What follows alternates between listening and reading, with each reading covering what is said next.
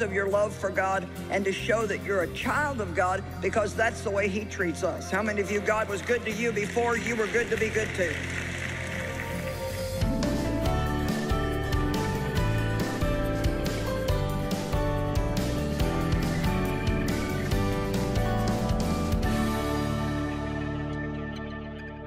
If this is your first session here, I've been teaching the book of Ephesians, and um, it's a wonderful book in the Bible. It's a, it's a well-rounded book that gives us not only great teaching about who we are in Christ, but then because of who we are in Christ and what he's done for us, it then teaches us how we then ought to behave in light of what Jesus has done for us. And I can never say this enough, so I'm going to say it again. You're not saved by good behavior. Being a Christian is not just about trying to modify your behavior, but if you develop a great relationship with God through Christ, you receive Him, you spend time with Him, you study the Word, you learn to do life with God. I love that phrase. We're not just going to church on Sunday morning, we are doing life with God. We want Him involved in everything that we do. He loves you, you're forgiven, He's merciful. You have an inheritance. You're a joint heir with Christ. All the wonderful things in chapters 1, 2, and 3. Then chapter 4 says, therefore. therefore, because of all this good stuff that God has done for us, now we should live with behavior that is a credit to God's service.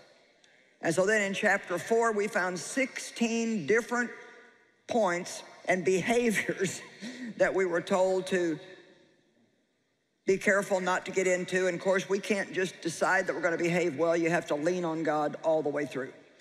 Then in chapter five, we talked about some more of those things. And now we are at the point that some of you are going to groan and some of you are going to rejoice because we are at Ephesians chapter 5, verse 21. So I might as well just get this part over with so we can get on to some better stuff. Because it says, Be subject to one another out of reverence for Christ the Messiah, the anointed one. I'm good with that. If we're all submitting to each other, that I can handle. And I do want to make a point before I read the rest of it that that is the first thing he says. That we should all submit one to another. And that's true. I mean, even like, you know, you come in here, you need to be willing to submit to the authority in here at this conference. If I would come somewhere where you were doing something, then I would need to be willing to submit to what you wanted done in that place. And the world today is filled with rebellion. Nobody wants anybody telling them anything.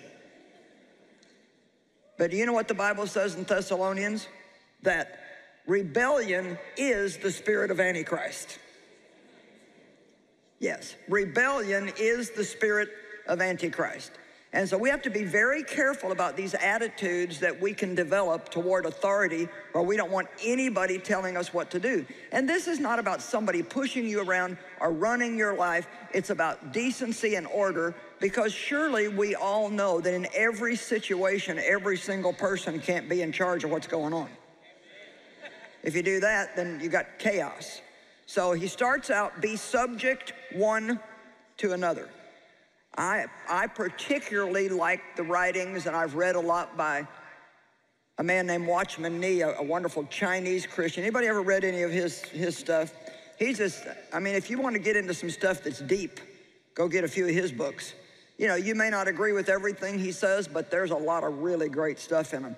And he's written a great book on spiritual authority. And he says that any person, your first obligation when you walk into a room is to look around and decide who's in charge and make a decision that you're going to come under that authority. Hmm. Well, we're all excited already, aren't we? I'm going to need my friend down here to help me. He's still clapping, thank God. We do realize, don't we, that the rebellious attitude that the world has is not right.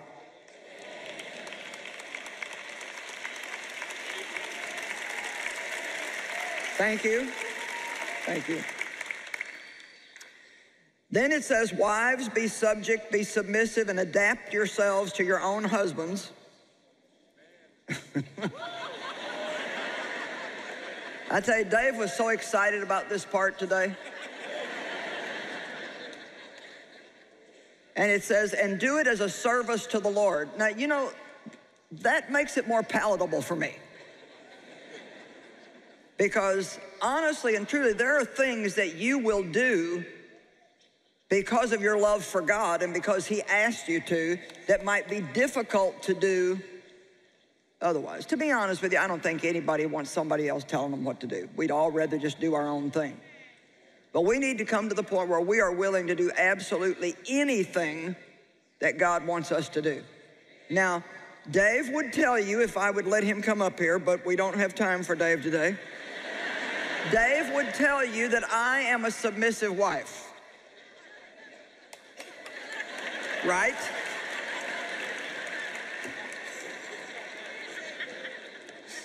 Now, you know, I got plenty of spunk, and I got a mouth, and uh, I make a lot of decisions, and but I'll tell you the truth, if it comes down to doing something that I would prefer not to do, because that's what Dave really wants to do, I will do it because that's what I know God wants me to do. And it keeps peace in our home, and I believe it's the right and the godly thing to do. Now, the other side of that is to the husbands. For the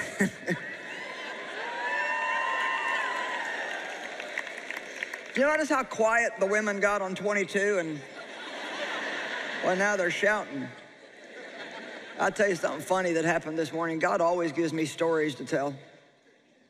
I was sitting and studying and I hurt my back a little bit last week, so I've been having to be careful with it. And I was sitting in a chair where I had my feet propped up, and Dave thought that was hurting my back, so he suggested I sit somewhere else, and that was a couple days ago. So then I was sitting out there today, and he said, How's your back? I said, It's been doing pretty good. And I had my, my legs crossed. I sit like that a lot. And he said, You know, you probably shouldn't cross your legs. And I'm sitting there studying on wives be submissive to your husband. And I said, Wait. And I said, You know, Dave, you really can't run my life. so if you don't need this, I'll just preach to myself today. Amen. Now, Dave and I kid each other a lot, but I, I have to do a lot of things because I love God, not necessarily because it's the most fun thing for me to do. So that's the point that I need to make with you. Now it says, now, husbands, for the husband is the head of the wife as Christ is the head of the church. Don't forget that second part, guys. As Christ is the head of the church, the Savior of his body. As the church is subject to Christ, so let wives also be subject in everything to their husbands. Husbands, love your wives as Christ loved the church, and I love this part, and gave himself up for her. Now, you will notice, men, that this is talking about sacrifice. Jesus gave his life up for the church, and this says that a woman should submit to her husband, but he should love her as Christ loved the church, sacrificing for her. And I can tell you, if this is all working right, it's beautiful.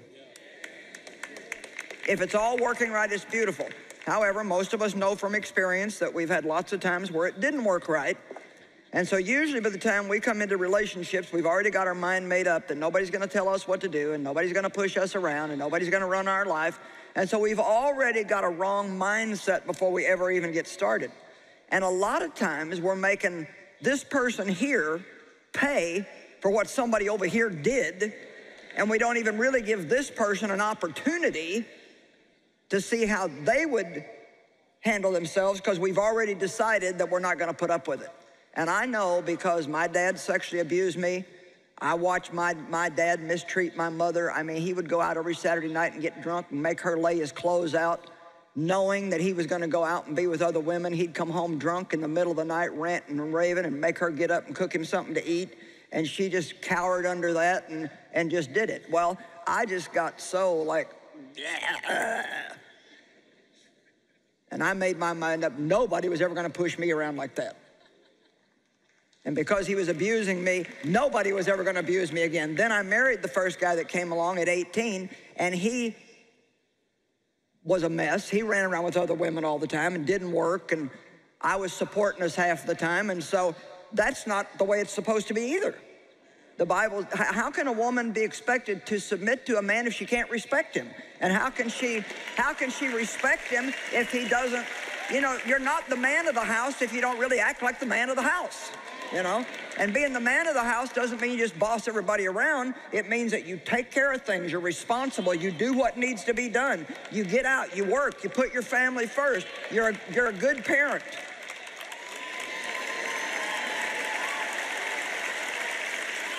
And so I'll just tell you, we've got a mess going on in the world that I'm certainly not smart enough to solve. All I can do is try to share with you what I believe God has taught me, and, and hopefully it'll help us make some progress in these areas. And so then he goes on to say, um, let's just look at verse 28. Even so, husbands should love their wives as being, in a sense, their own body. He who loves his own body loves himself. Verse 32 says, This mystery is great. And I thought, yeah, it's great, all right. You know, says a man. well, they got that part right. Verse 31, it says, For this reason a man shall leave his father and mother, and the two shall become one. That's the becoming part that we miss. It's like you leave your father and mother, and it takes the rest of your life to become one. Now, you know, Dave and I get along great now, but I'll tell you what, we, we went through some stuff in the beginning, and a lot of it was just my rebellion. I didn't want anybody to tell me what to do. Dave actually really was one of the ones that would have been really good to me, but I didn't even know how to let anybody love me because I brought all my junk from my past hurts into that relationship, and I was trying to make him pay for what other people had done to me. And so I'm just encouraging you, if you've been hurt in the past, try not to bring your baggage into a new relationship and try to make somebody else pay for what somebody back here did to you. You say, Well, I'm afraid. Well, put your trust in God. A godly marriage is a great mystery because it represents Christ's relationship with the church. Now, I understand if it's difficult for you, but I also understand that no matter how difficult things are, we still need to do what God asks us to do. Now, you know, Dave and I don't agree about a lot of things, and, and uh, we talk things through, and a lot of times if we don't can't make a decision we both agree on, then if it's something we don't have to make a decision on, we just won't make any decision for a while. We'll just wait on it, just let it sit for a while and wait on it. Give God a chance to change somebody else's mind. But if it comes to, preferably Dave's, if it comes,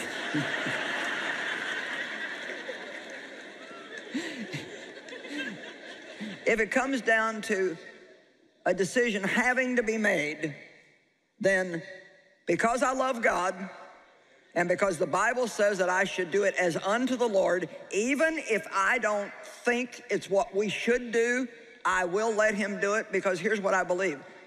And I want you to get this part of this message today. If you do what's right, God will always take care of you. If you do what's right, this is, serving God is not about doing what I want to do. It's about doing what God asked me to do because I love Him and I want to honor and glorify Him. And things are just not going to work right in our lives if we don't go back to some of these wonderful principles that are in the Word of God. We don't have the privilege of doing whatever the world does because that's what the world is doing. And don't worry, the whole message is not going to be about submission to authority. Just a little bit more. Can you take a little bit more? All right. So then well, I might as well read verse 33 in the Amplified. However, let each man of you without exception love his wife as being in a sense his very own self, and let the wife see that she respects, reverences, notices, regards him, honors him, prefers him, venerates him, esteems him, and that she defers to him, praises him, loves and admires him exceedingly. I actually found an old notebook of mine. yeah. What did you say? Sounds good to you, right? Yeah.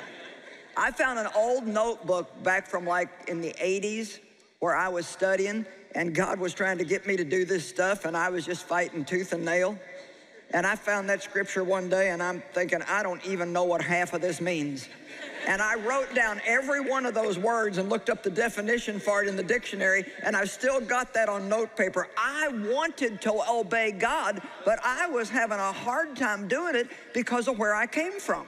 I didn't really have a rebellious spirit. I was afraid to trust anybody because anybody I had ever trusted that had authority over me hurt me. How many of you know that that can certainly be the case in a lot of situations? Amen? But thank God I made it.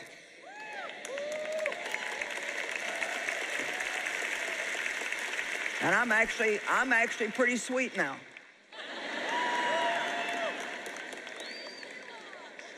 I told Dave this morning I might be sugar-free sweet, but I'm sweet.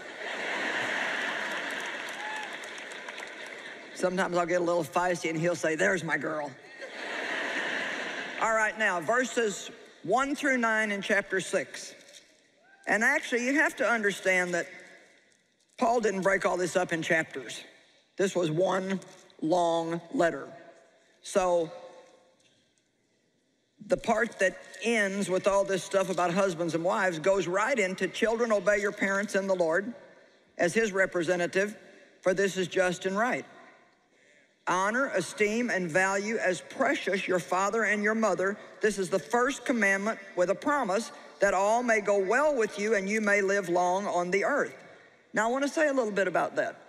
If you have parents, you're no longer living at home, and you don't ever pay any attention to your parents, you don't go see them, you don't call them, you don't ever do anything for them, then you need to really think over what God says about how to treat your parents. And it's not a good enough excuse to say, well, my parents didn't treat me right. Mine abused me, and the time came when God said, I want you to take care of them and take care of them well until they die. And it cost a lot of money, and it cost a lot of time, and it wasn't something that I wanted to do, but we don't have to want to do everything that we do. We do it as unto the Lord. Amen? And you know, this, this is, it's very important to me that you get this part. If your parents were dishonorable, you may not have all the gooey feelings toward them that you would like to have, but, you, but love is not about how we feel, it's about what we decide to do as far as how we treat people. Come on, I've been preaching a lot this weekend.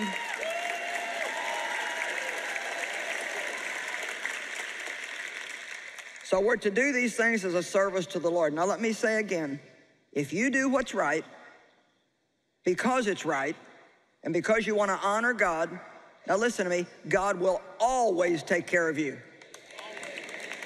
He will always take care of you. We don't get to be good to people because they're good people.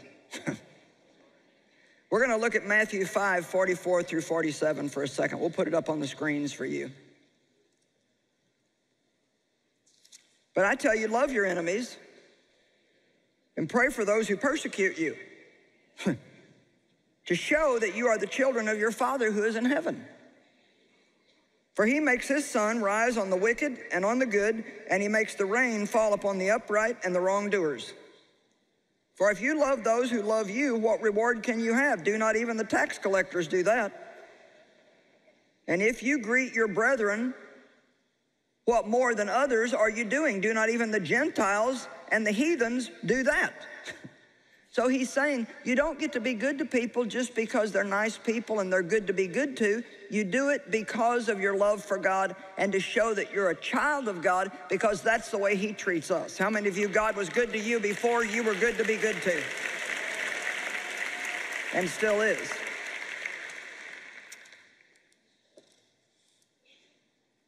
Okay, verse um, 6.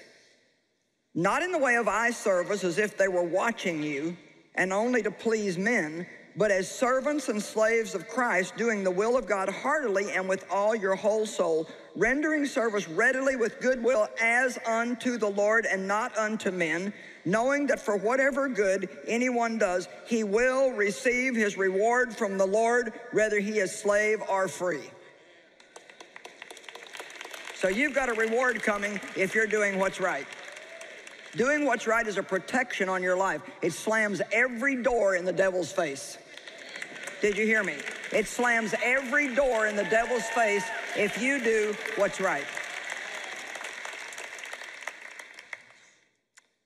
Verse 9, it talks about, I mean, this talks about how children should submit to their parents. Parents should not take their angry, undue chastisements out on their kids. Any of you ever have a bad day and take it out on your kids? Yeah, well, four, that's good. We got a lot of holy people here today.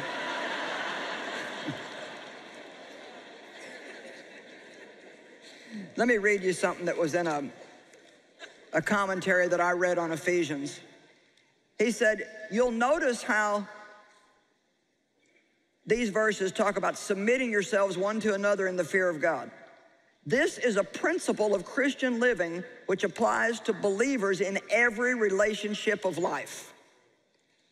And now that the Apostle Paul turns to consider the Christian family, he shows that it even needs to apply there. Now, listen to this. Did you ever stop to think what a wonderful institution the Christian family is?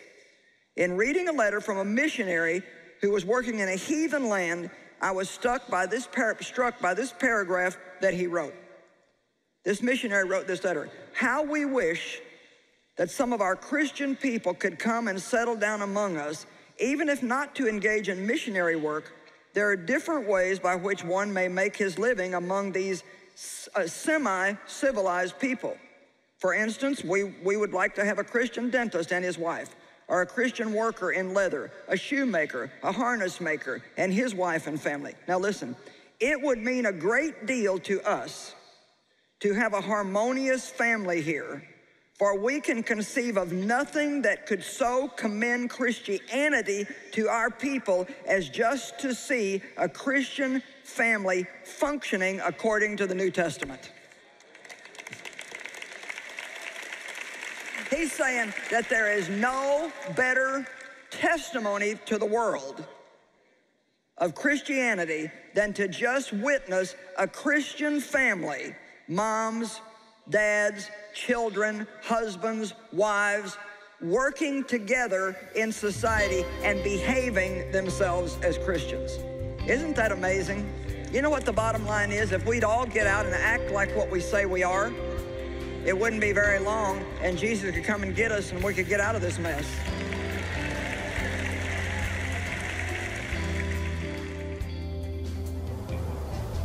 Well, be intentional with your pursuit of God. Make a commitment to the one who can meet all of your needs. There's a lot more in this chapter that you don't want to miss out on. So please take advantage of today's offer. The Ephesians Action Plan, it's six teachings on DVD and CD, the study guide, and the whole book of Ephesians that we've put into a special little booklet for you. You can carry it around with you. You can read it over and over. I think you're going to really enjoy these resources. And you know what? This would be a great gift to give someone that you know loves to study the Bible or wants to study. It's also great for home group Bible studies. So I think this is going to be very valuable. Enjoy your day and thank you for being with us.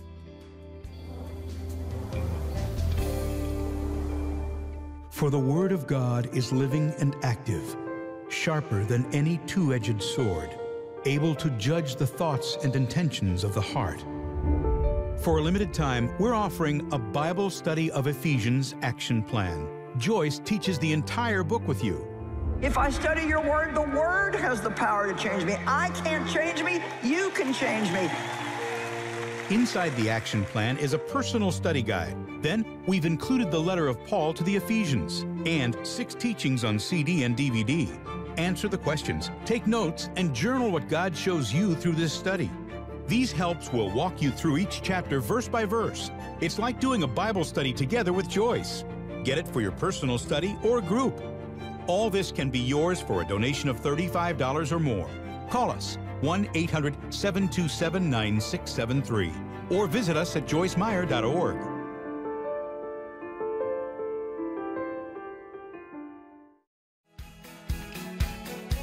You know, every day of our life is a gift from God.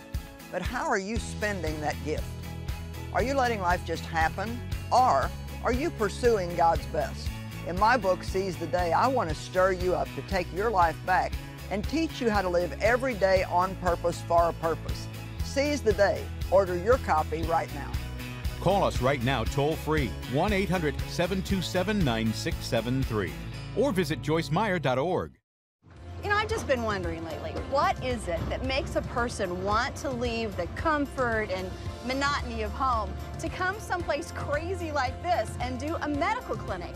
Well, let's ask the volunteer doctors and nurses who do it all the time. Seeing the world is awesome. It's always a great adventure. Because the kids are so amazing. I do this because God put it in my heart to help others. Because it's life changing. We love it. It's awesome. Because it's really fun. So, what do you think? It can't hurt to at least check it out, right? All you need to do is go to our website, joycemeyer.org. All the information is there for you. And just think, your adventure may begin today.